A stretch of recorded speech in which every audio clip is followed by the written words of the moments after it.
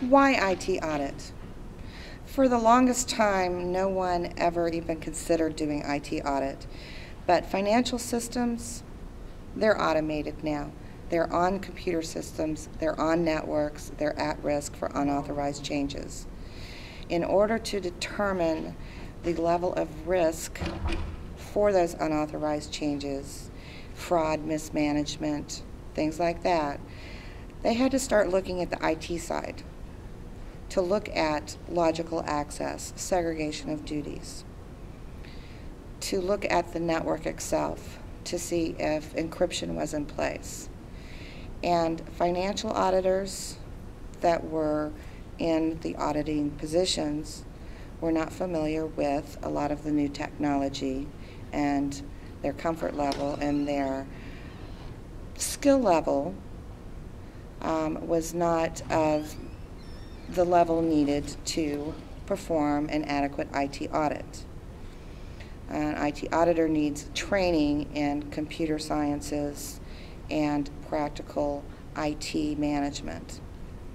They need to be able to learn the systems and understand the technology.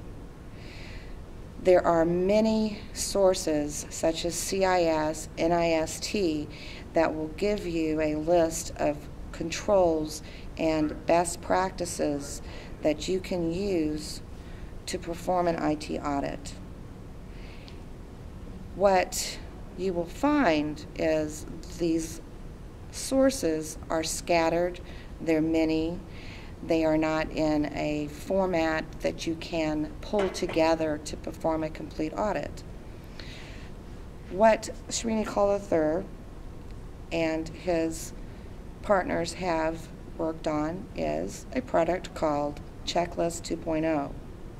Checklist 2.0 brings together all of the best practices from all of the sources that are out there. You don't have to do the research.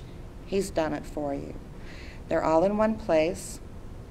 They address SOX, PCI requirements, the European requirements, um, all of the new ISOs, ISO 2003. Everything's there for you. So you have the best practices to test against when they do not have policies in place that establish their own best practice for their own business environment.